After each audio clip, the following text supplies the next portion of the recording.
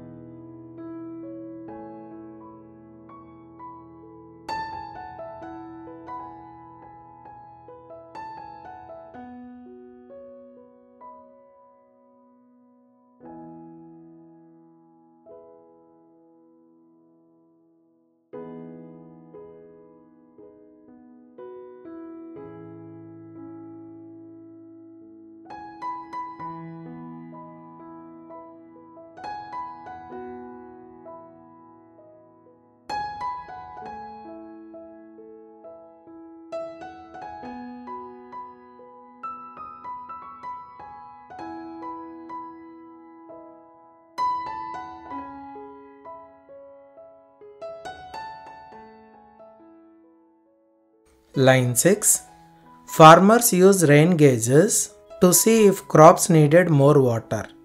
Line 7 Meteorologists use them to predict weather patterns. Line 8 Rainfall is measured in millimeters or inches.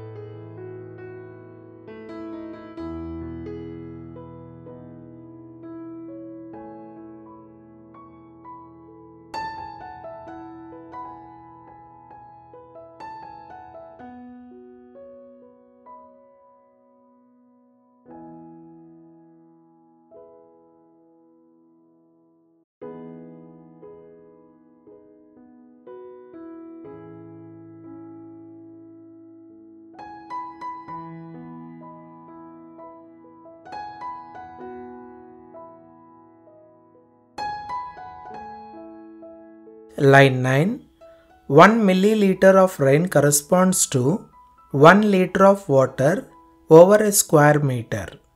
Last line, line number 10 Accurate rainfall data is crucial for making weather reports. Thanks for watching. Please do like, share subscribe and hit the notification bell so you never miss an update.